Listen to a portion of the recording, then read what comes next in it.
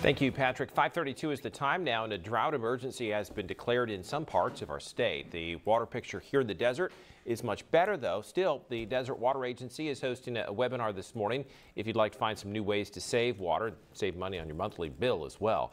News Channel 3's Madison Weil is live in Palm Springs this morning with details on today's presentation. Madison. Jeff, good morning. Well, we had a very dry winter season up and down the state, and as a result, a drought emergency has been declared in 41 counties. Thankfully, we're not one of them here in Riverside County. However, counties across the state do share resources. So, the Desert Water Agency, they have a great opportunity this morning for those who want to learn more. They're hosting a webinar at 10 a.m., and basically, they'll be going over how the dry conditions and emergency drought declarations could impact us here. Organizers say they'll be sharing information information about California's ongoing drought and what preparations they're taking locally.